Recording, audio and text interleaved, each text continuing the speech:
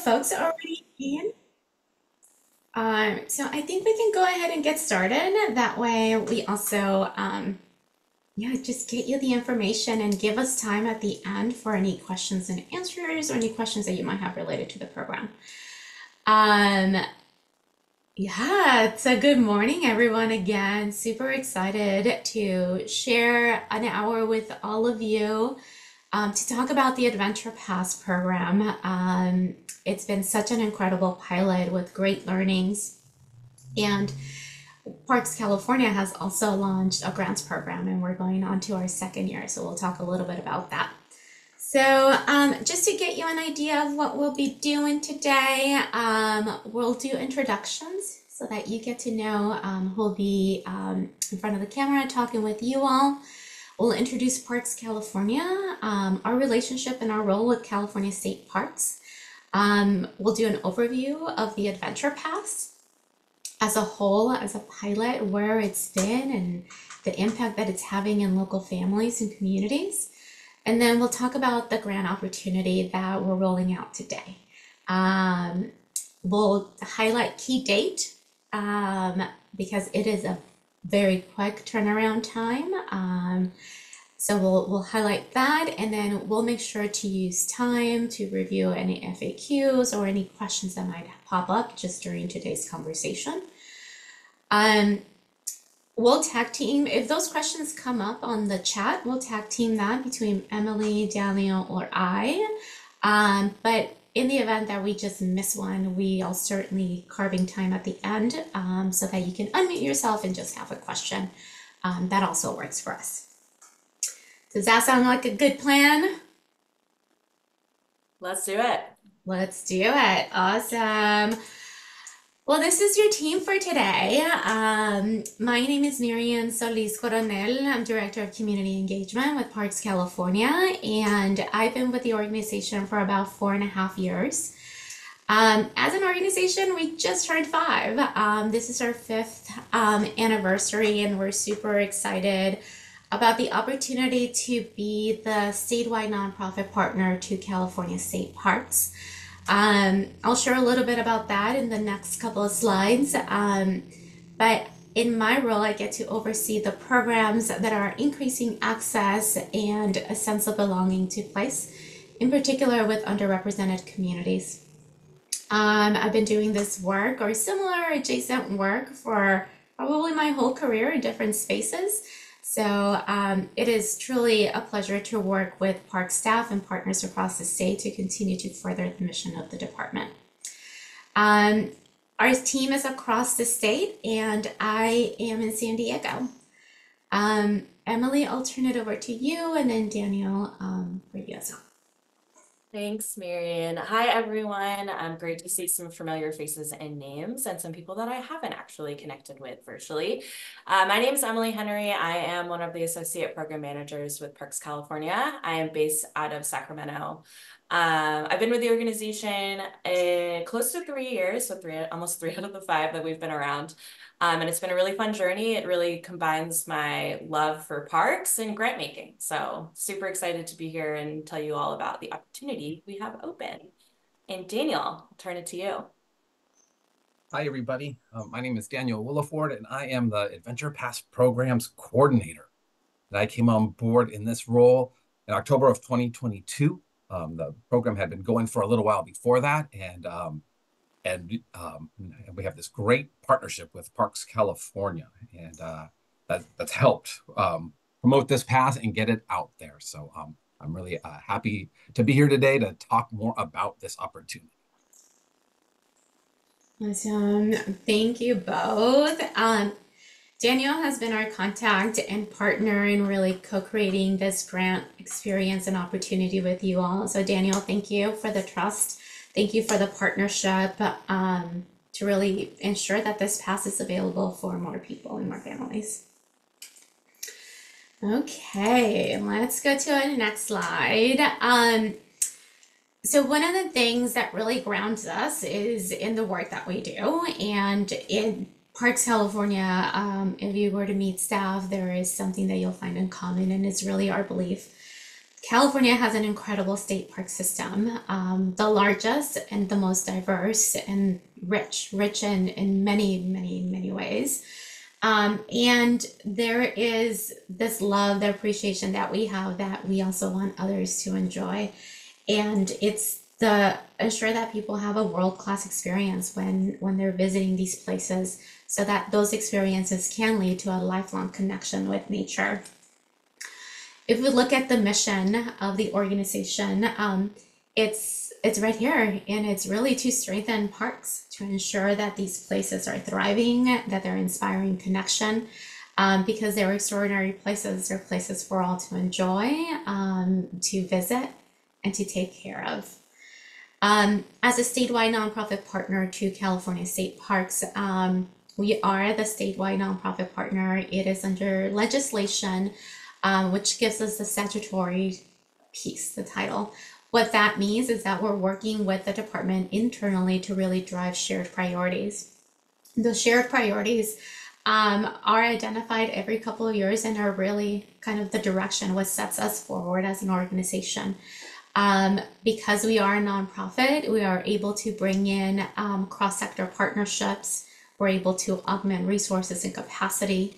Um, and we're able to be the nimble partner, right? We understand that there's a certain beat that comes with government. Um, but as a nonprofit, we get we have that flexibility. So we truly exercise it to ensure that we're maximizing and um, furthering the mission of the department and the work that staff is doing, not just at headquarters, but across the state, um, and also with partners. So with many of you here, we know you're supporting part um, parks at a local, either at a very park level or at a regional level. So collectively, um, our goal is to really work together um, to really meet those shared goals. Um, so this just talks a little bit our approach, um, which is um, cross-sector partnership, statewide approach. When we zoom in at a very park level um, opportunity, is because there is an opportunity to scale those, scale those learnings, share that for inspiration, share that for possible taking it into another region, knowing that there will be a little bit of adaptation because each park, each community is slightly different. Um, now what I'm going to do, um, hopefully that gives you an idea of who we are as an organization, our collaboration with state parks. Um, now we'll go, I'll turn it over to Daniel so that you can talk a little bit about the pass as a whole, and then we'll take a deep dive into the grant opportunity that we'll share today. All right, thank you, Miriam. Uh, uh, all right, just a, a quick uh, brief, you know, a briefer on the Adventure Pass. Um, we can go to the next slide and just kind of highlight the uh, you know, some of the points of the Adventure Pass. The overview. Uh, back in 2021, there was an assembly bill that created the program um, and a, uh, a, Senate bill that funded the program for a three-year pilot program. We are actually coming to the end of that pilot program this year. So the uh, uh pilot program for the Adventure Pass, uh, Pass program will end uh, August 31st, 2024. And it's a partnership between the First Partners Office, the California Natural Resources Agency, and state parks to provide free access for fourth graders and their families for 54 participating California state parks. And these uh, parks were chosen because of their connection to fourth grade curriculum, because of their location, perhaps, because of what they offer. Um, uh, there's a lot of reasons why these particular parks were chosen, but uh, first and foremost, they connect to a fourth grade curriculum, what's being taught in school, so it can supplement that experience for them. The uh, pass itself is good for the fourth grade year in totality uh, from September 1st of the fourth grade year all the way to August 31st of the summer after fourth grade too.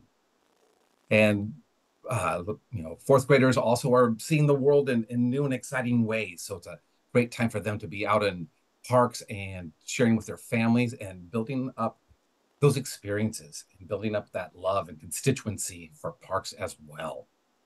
Um, and it waives day use fees for these for these parks. So other things such as camping or or other uh, you know service added or extra added value things aren't included in this. All right. And we recently just expanded from 19 parks to 54 parks. Check out this great map right here. Oh, you can see uh, working with our Parks Comms um, division, we developed this map here to show where the uh, parks are, and they they represent all different types of California state parks, um, like state beaches, state parks, state historic parks, uh, state recreation areas. Yeah, you can uh, see uh, there's the web address right there. On our website, there's an interactive map as well. So there's this poster map as well as a Google interactive map that you can go and click on on the little bubble and it'll take you to that park website. So um, that's a, a, way that another way that we're reaching out to folks. But uh, you can see that this kind of shows a lot of the great things that the parks have to offer. And getting the pass, uh, you, you would go to our website and click onto the Reserve California link. The passes are emailed and available on the Reserve California account page of that person. So they're not mailed out through um, you, uh, through, through the post office. They're all digital. Um, and so folks can use their digital you know, device when they get to a park to show um, that they're using the Adventure Pass or a printed copy as well. That, those are ways that they're accepted. And uh, for folks that don't want to, uh, that don't go online or don't have that option or whatever the reason may be, uh, there is a contact center with a, a, phone number right there. And then there's some sales offices, Park Pass sales offices throughout the state too, which we have a link to that on our webpage too. So, um, and since the pass has been going on for a, a, number of years, we've been able to collect some data. And um, we've got some, some graphs, I believe, next of some of the data that we've collected. So this gives us a look at how many passes in total were downloaded in our pilot year of 2021 to 2022, then last year from 2022 to 2023. So our program grew huge um, in our second year.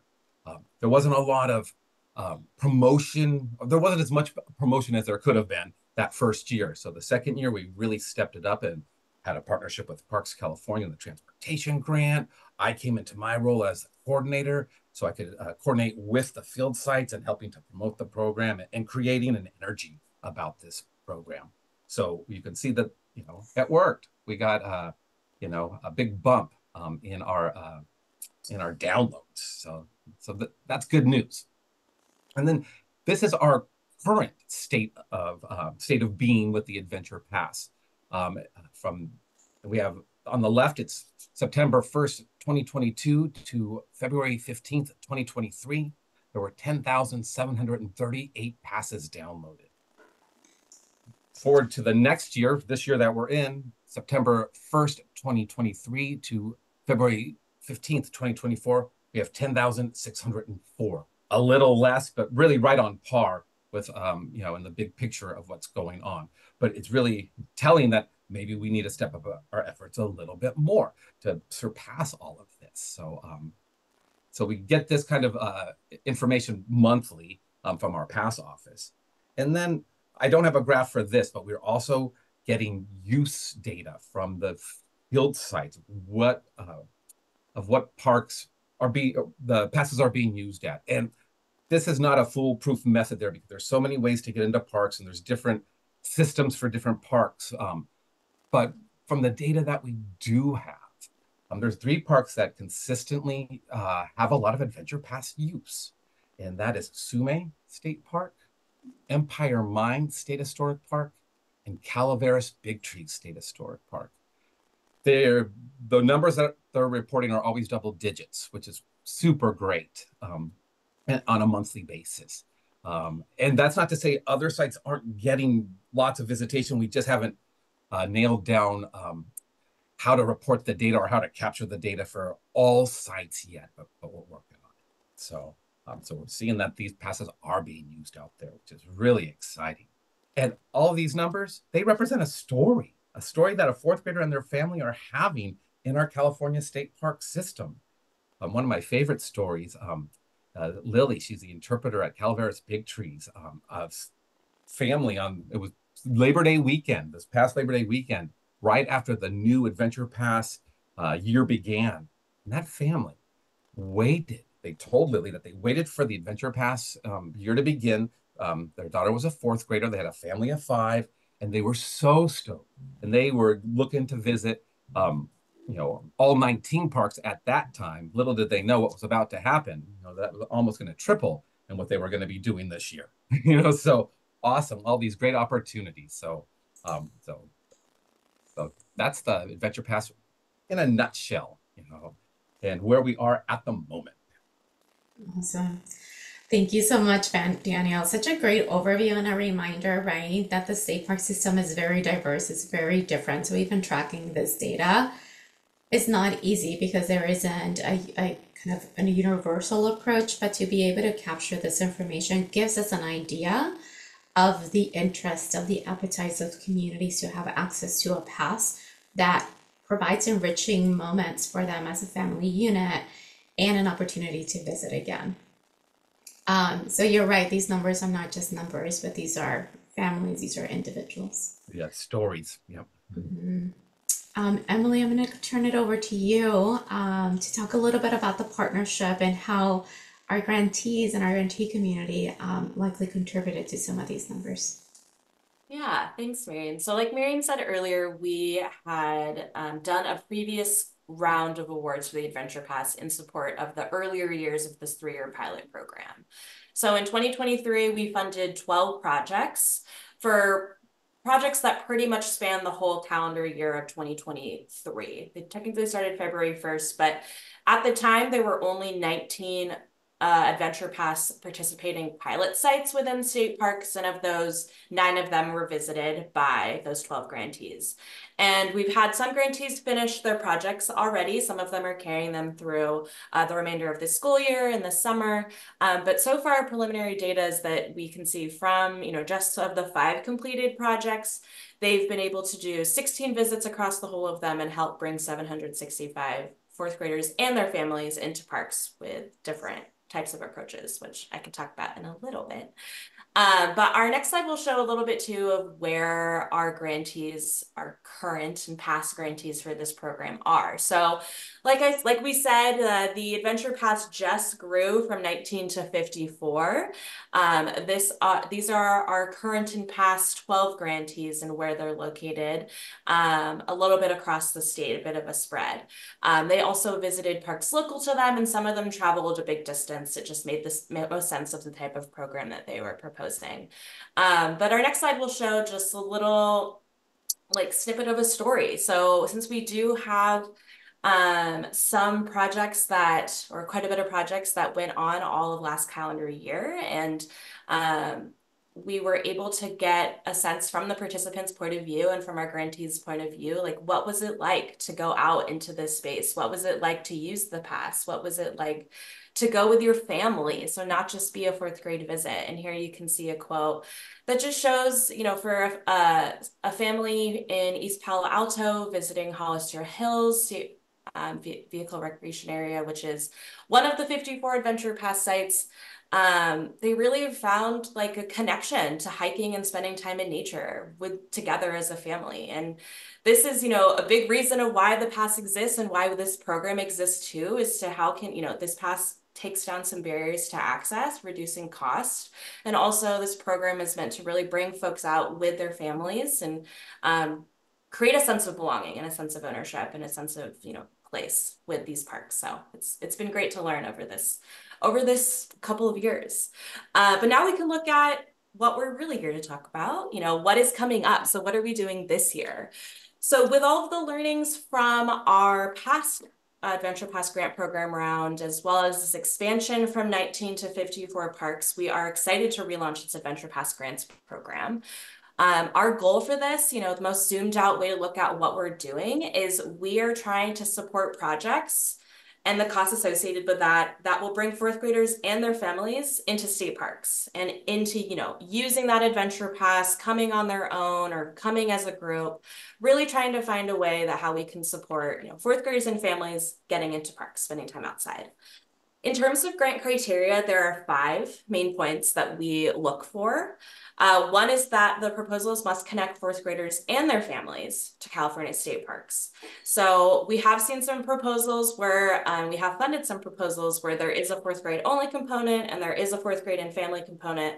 As long as that there is a uh, primarily a family component that is a piece here, that is really what we're looking for. So we have this pass available. This funding is really thinking how can we activate community to actually go with their families and learn that on their own and maybe come back. The second point of criteria is that the state parks or beaches that they're looking to visit must be one of the 54 participating in the Adventure Pass pilot program. Uh, we have in the past allowed folks to also visit other parks. So if they say are doing a multi-touch um, type of experience or type of approach to uh, engaging folks in the outdoors. And they sometimes visit a local county park or they visit another state park that's closer to them or one that's of interest to their community. What we look for, as long as the majority of the parks looking to be visited are one of those 54 Adventure Pass participating sites. Um, our third point of criteria is that thinking about community. What we're looking for is that each proposed project uh, addresses the needs and uh, focuses on some under, underrepresented community that for some reason, you know, it can be financial, can be um, physical, can be emotional, anything, uh, has a barrier to park access. So there will be pieces of the application that asks to say, or ask you to say, you know, who's the community and uh, what's their barrier. Uh, the fourth piece of criteria is we're looking for projects that help people get transportation to parks, help people use the pass, help people um, really take advantage of this pilot program that is currently active through August of this year. And then our last point of criteria is that we look for proposals that um, really take into consideration what is relevant for the community they're looking to serve. So what is of interest to them? What is it that they want um, want to experience? Um, in any ways, is it co-created or informed by community? While we have this criteria, we also have a couple of preferences. So when we look at um, the projects we funded in the past and the projects we're looking to fund, we typically see that they hit one or more of these preference points. So one is that they are providing participants with multiple meaningful and relevant outdoor experiences. So really the thinking behind that is like one park visit is amazing. It can be really transformative. Where we see people create a bigger change or a bigger change of perception for themselves is when they come multiple times. So many of the projects that we think, I think all of the projects we funded in this previous round had multiple uh, park outings available as opportunities, um, whether it was to the same park or to different parks. It really just depended on the approach of the specific organization. The second preference point that we typically look for, or that we will be looking for is this, is that the organization applying has a history in engaging or offering programming to the community they're looking to serve. So they're rooted in the community, they have a good understanding of what the community needs are, or have a way they're taking that into consideration through co-creation or some sort of informed build of the program. And then the third preference as well is that we're looking to build on um, an existing partnership or collaboration with California State Parks. That doesn't mean you have to be, say, a designated nonprofit partner, but really what the point here is that uh, we look at all of our grant programs as Parks at Parks California as a way to help build partnership between community, community organization, and state parks. So getting a sense of where you're at with that relationship, it can be non-existent or very early days and how this program will help you to build a relationship that can hopefully live on past the, the grant period that we'd be funding for. Then taking a look, our grant period's pretty short. So it's like Daniel said, the Adventure Pass pilot program is currently active through the uh, end of the summer. So through uh, August 31st of this year. And so with that in mind, we did take as much of an approach as we could to shorten the application um, and provide lots of resources so that folks can get a hold of us in helping develop their application too. Um, so our, our, our grant period will hopefully award in April and then for you know funding activities between May and August. What we're recommending is that folks can request up to $10,000 for this type of uh, grant. But, you know, if your program would cost more than that, this is not an absolute maximum cap. So always apply for the true cost of your program. And if you have questions about it, um, you know, we'll be available to talk through like what makes sense as a, as a, as an approach, but we do have a recommendation. Um, you know, if you're thinking what might feel good, 10,000 is what we're thinking that might make sense as a grant award. For qualifying application or applicants, we will be accepting um, applicants from 501c3 organizations, so uh, designated nonprofits, California Native American tribes, Native 787 one organizations, fiscally sponsored community organizations. So those who are sponsored by some nonprofit if their own their own uh, community project. And then lastly is government agencies. So think like city, county. Um, we've seen both cities, both counties and uh, co county offices of ed apply as well. And then our application due date will be March 25th, 2024. Oops. It's all good. So one thing that I want to call out, like I said earlier, the way we look at all of our grant programs at Parks California is that these are really an opportunity to, yes, help get folks into the outdoors, whether it's through career pathways or through, you know, outdoor access itself through um, these type of programming. But also this is a really awesome opportunity for us to help develop and influence partnership between community, community organizations and California state parks. So what we require for all of our applications is that uh, applicants have a conversation with state parks. So as you're thinking about what parks you want to visit, reach out to those parks and say, hey, I'm looking to apply for this grant opportunity um, with your partner, Parks California. This is what I'm thinking. Like, does this make sense? This will help you if you don't have a relationship yet, start that. And if you do, potentially deepen it and really just like help you co-create with state parks and understand what are the opportunities that are available. This isn't saying that state park staff need to be a huge part of delivering your program, rather just as like a, a thought partner at the beginning, saying what's possible, any recommendations, because you know they know their park the best. Uh, what you'll be required to do in your application is tell us who you talk to. So you'll submit and say, these are the parks we want to go to, and this is who we talk to. What we'll do in the application review phase is we'll go back to those parks and just say, hey, you know, are you aware of this proposal? Is, you know, this something that you have been your staff have been talked to about? And then you know maybe at that point too they might have some other tips that they thought of that we could pass along to applicants. So just know as you're thinking about this opportunity as you're identifying what parks you might want to look at might want to go visit reach out as soon as you can. And if you have any trouble with that as well let us know. We have contacts for each of the 54 parks um, and can help you get connected if you don't know where to start It's never too early. Even if you're on the call today and you're thinking and directionally, you have an idea what kind of proposal you'll have, reach out to them starting tomorrow or starting later today. But these are folks that I think um, we often forget that they work in parks um, and they show up to work, and sometimes their work attention goes somewhere else because maybe an incident happened, right? Like a natural thing, a bridge, a tree fell, or something. So getting a hold of them now um, just gives you a, gives you a little bit more wiggle in in the event that their attention is veered another direction. Thanks, Mary. Great add-in. Okay, so now I'll actually be talking about the grant application itself. What are we going to be asking you guys? Like I said before, we know it's a really short application window, so we tried as best we could to shorten down the application and really pay close attention to like what will help us review these proposals and get a good sense of what you're looking to do. So these next couple slides will just have um, pulls from the application itself, but I'll go through them. The first thing you'll be asked is, asked is, did you already coordinate with California State Parks like we just covered? That's where you'll be asked to give us a list of who you talked to, uh, you know, names if you have them, emails if you have them. Um, then we'll go into program summary. So this is where it's your opportunity to just tell us, you know, what is it you want to do? What is it that you want uh, to have us fund. And this is where you'll provide that detail of, you know, what exactly is the program you're looking to do? How will folks be encouraged to come to parks on their own? Things like that. And there's all these prompts in the um, grant system as well.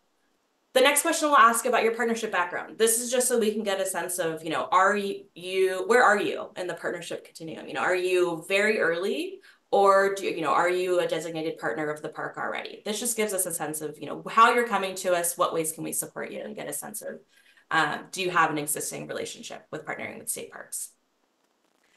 The next section will get into program details. Um, it will ask you you know tell us a bit about why the community you're looking to serve, you know, has some sort of access barrier to parks. How have you partnered with that so far in the past, or how have you worked with this community in the past? Again, to get us back to those criteria and preference points so that we can see relevancy, you have an understanding of what the access barriers are, and you have a history of engaging with these communities. The second question is how will you approach and create solutions to the issues that you described above? And then how you prioritize fourth graders and their families?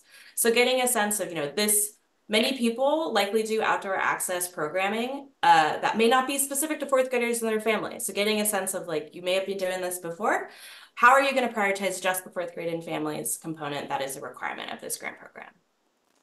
The third question is asking about the Adventure Pass program itself. What ways can you help with folks learning about the Adventure Pass grant program, help folks download them, We've seen in projects we funded in the past, some people hold workshops, some people send instructions, some people um, will help folks one-on-one in their community.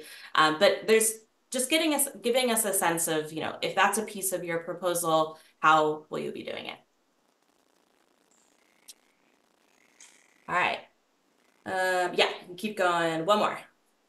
Thank you. So the next aspect of the application will ask about the outputs and outcomes you're looking to achieve. So outputs are, you know, how many fourth graders do you think you'll be able to connect to parks? How many family members? How many park visits um, would you think you'll be able to facilitate during the May to August grant period? Then our program outcomes will ask a couple of questions. You know, I think this is one question, but there are a couple of leading questions to it. You know, how does this program fit into your organization's goals and programming you currently have? what kind of outcomes do you want participants um, to, you know, to walk away with? And how will this help you achieve that? And how would you measure these outcomes? So as best you can, you know, answer these leading questions.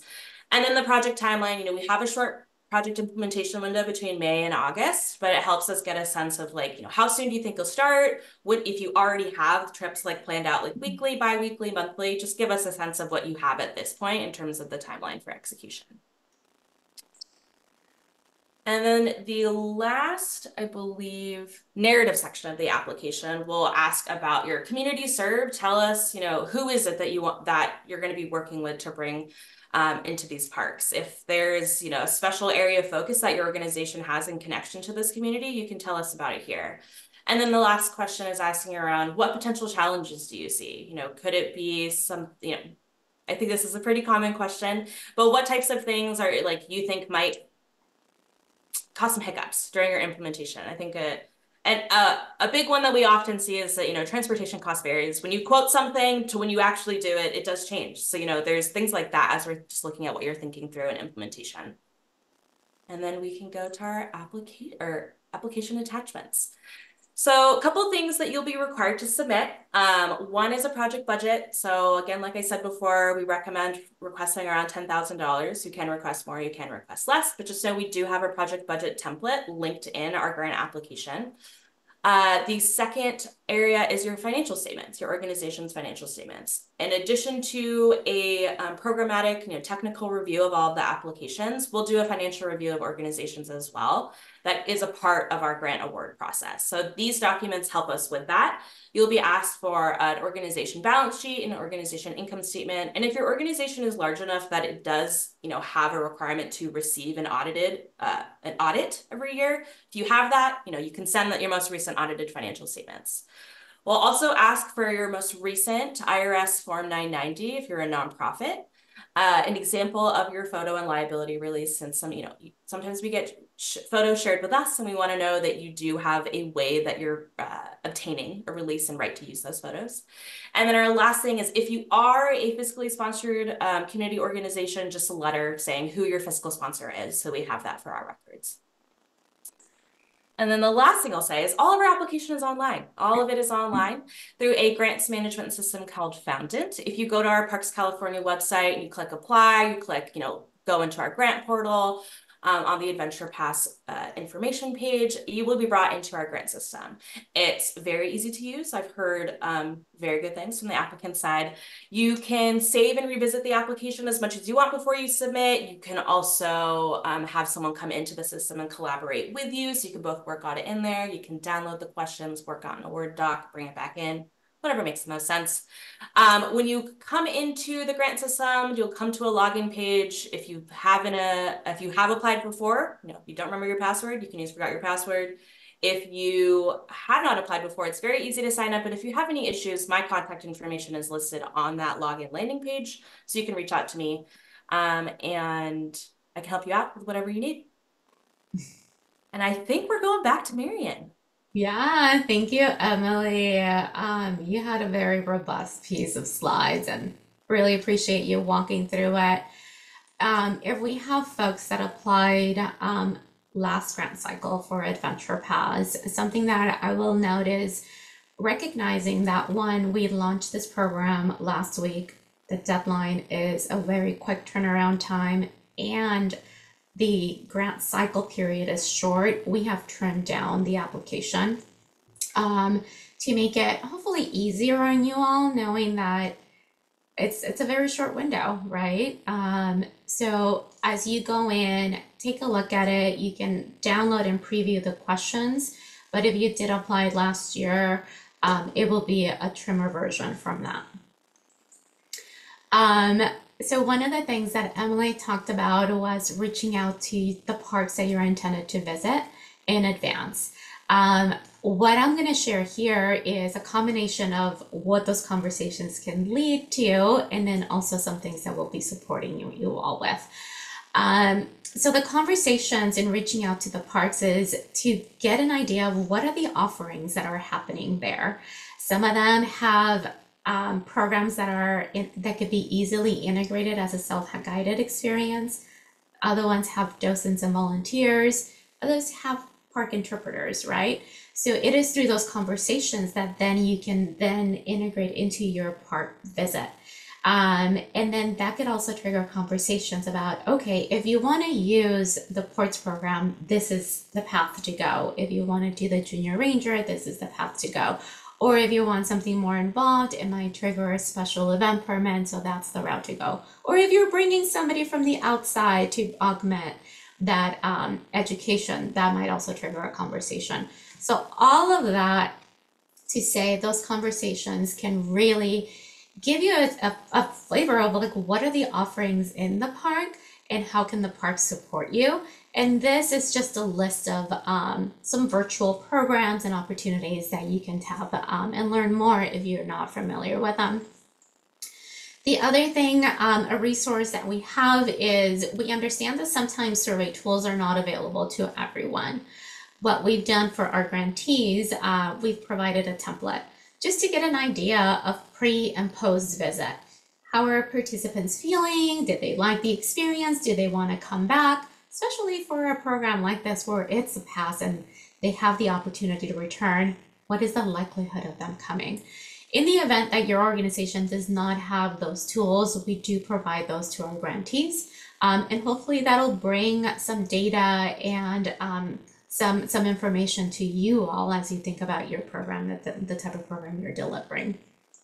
Um, and then uh, the other thing that we do is, of course, provide support um, throughout the grant cycle because we know things change, right? Things change within an organization or even the park. For example, recently I was talking to one of our park partners and they said, you know what, the bridge that connected this very popular place to this other place, unfortunately, is closed and we're going to have to rethink the experience. So things happen, changes happen. So what we're here to do and what we're committed to do is to be your partner and support you throughout the experience, even post award. As we think um, Emily was talking about these programs just being a vehicle for that partnership, we're here. We're here to foster those relationships. Key dates. Okay, application is live. You all can take a look at it now. What is next? Is office hours. So we know we just shared a lot of information with you today. Um, you have access to the application. You might have questions. You might want to know like who is um, who is my contact at the park site. So what we're doing is just close this. Um, we're having office hours, community office hours, so that folks can come in and ask questions. So these are the dates.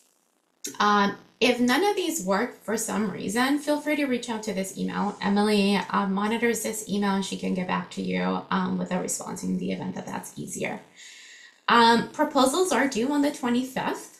And then we do anticipate and expect to do grant announcements in late April so that money is out the door starting in May and that money is available to grantees between May and August.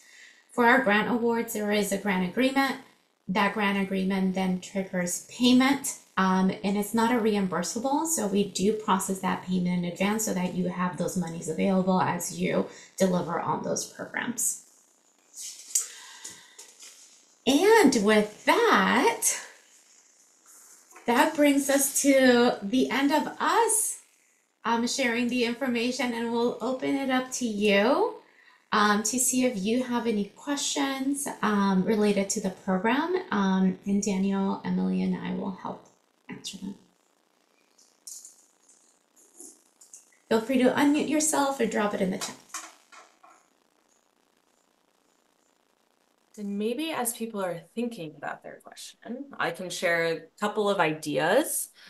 Oh, someone someone did ask the question. So there's a question in the chat This is what are the total funds to be granted? I believe we have around $120,000 to make and grant awards specifically. We have other funds to support the program. But um, so if we're thinking an average of, excuse me, around $10,000, that would be around 12 grantees, which is what we were at in our previous year as well.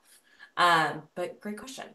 And as other people think about questions, maybe I'll spark some inspiration and with some type of projects that we funded in the last grant period, knowing that that was over a longer period of time, but maybe there's something here that will um, spark something for you. So we see a we we saw a couple different approaches. Um, the kind of biggest question I think I get a lot is like, what is like a good transportation model for these types of grant projects? And um, it really varies. So sometimes we see people busing, sometimes we see people going, you know, using private cars, caravanning. Sometimes, you know, we see people do some sort of reimbursement back to people driving their own previous vehicles, using a local partner for a transportation voucher. You know, there's lots of ways you can think about it. Um, and busing is totally okay because that is a very common way that we see people come into parks. Um, and we also saw that approach with, you know, people going to the park very close to them, or they went to multiple parks. They looked at the Adventure Pass map and the state parks map and said, like, where do people want to go that we're serving? And figured out the transportation method that worked the, the best for them. Um, Justin asked a question about what are eligible expenses besides what was listed. Great question. Um, we encourage folks to submit a budget request that encompasses the true cost of what it would be to put on your program. So that could be staff time, that's transportation, any type of programming expenses. Like, do you need to buy some sort of like interpretive materials or some sort of educational materials? Do you need to buy some sort of outing equipment? Like, that is all eligible and good. Food, good, all of that is stuff we will consider. Um, we also, you know, if you have an indirect cost to um, implementing your program, please include that as well. Um, we only have an indirect cost maximum, I believe, for uh, governments, which is, and universities, which is a max of 15%. But other than that, we encourage folks apply for the true cost of your program. So I, I've said that a bunch of times, but I'd say, you know, I know I said our recommended is around 10,000. We will consider above, we will consider below. Um, and if you have a question about like, you know, will this type of expense work? Let me know and I can ask you. And for transportation, you know, some people also use the funding to support a vehicle they recently purchased, if you saw a vehicle they're planning to purchase in the grant period. It might be a little harder with this grant program um, uh, because it's such a short window. Sometimes it supports um, a, the lease of their vehicle, some of the maintenance to their vehicles. So, you know, think about that transportation too. If you're using your own vehicles, there are ways that that can be supported through this funding. Um, and I'm just going to keep going with the questions that are popping up. Someone asked if our meal is allowable. Yes, so whatever cost of that, and there's no like maximum of what you can pay per person for a meal. Like we we uh, encourage you to budget again true cost of your program. If uh, food on site is what you want to provide, include that. If food is a take home, sometimes people do like takeout bags or lunch bags afterwards. That's good too. The other thing that I'll add um, to that allowable expenses is depending on the engagement and the partnership with parks. Um, sometimes uh, an experience like this might trigger a special event permit. um, that is totally an expense that is also allowed. So meals, special events, cost materials, staffing, indirect, all of those are pieces that you can include in your proposal and in your budget.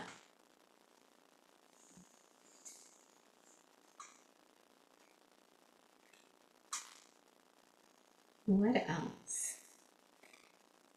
As more questions pop in, um, what we'll do as well is today's uh, presentation was recorded or is being recorded. We'll go ahead and follow up um, later today with a link to the recording, a link to the deck that we shared with you today, and then information about office hours, and then the link to the application so that you have everything bundled in one email and you can access it and also share it with your partners or even with your colleagues.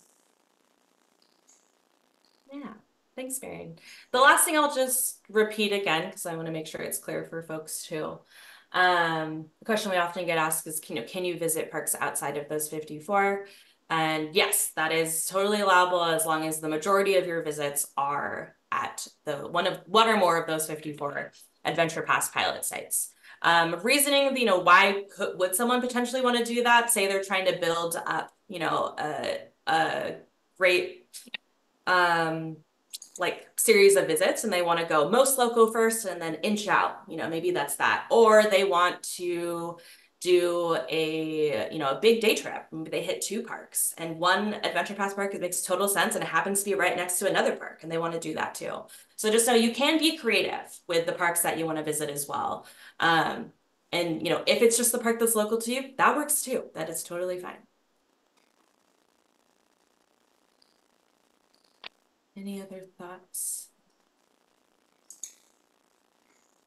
Well, just to reiterate what Miriam had said earlier, um, it's not too early to reach out to the park. Um, they can make it all happen. Um, and the interpretive staff, they're quite busy. So, um, but they, they've got time for you. So go ahead and reach out to them and, um, and, start that process now, even if it's just an idea, even if it's just a kernel of an idea. Um, Yeah. And if you're not quite sure who to reach out to, um, Emily can help. I can help. We can all help you connect to that to that person. Um, and get ready to kind of help with these transformative transformative experiences. Um, not mentioned in this uh, in our uh, presentation day was the documentary that it, that's being made right now from the last grant cycle. The stories that were captured in that documentary will reinforce why we're all here is to connect people you know provide access to parks and provide meaningful relevant experiences that may even like transform that individual through that afternoon and what we see captured in their documentary which whenever that's ready i can't wait for the world to see it because it really it just highlights the importance of why we are all here and, um, so please reach out if you even just have an idea we can do our best to make it happen Thank you. Thank you for that reminder. Well, it looks like we've answered questions. Um, if that's the case, um, we will follow up um, with all this information and thank you for everything that you do. I think, Daniel, what you shared about these experiences, you all see them every day. You are the ones that are at the forefront of these moments and if it wasn't because of your efforts, there would be less people. So thank you for what you do day to day to build these relationships and connections with nature. Um, these are moments that are transforming people's lives, and we're super grateful that you're there and that you're committed, and we get a chance to support um, the work that you all do. So thanks. Great. Thanks, everyone. Thank you. Have a great day. Thank you everybody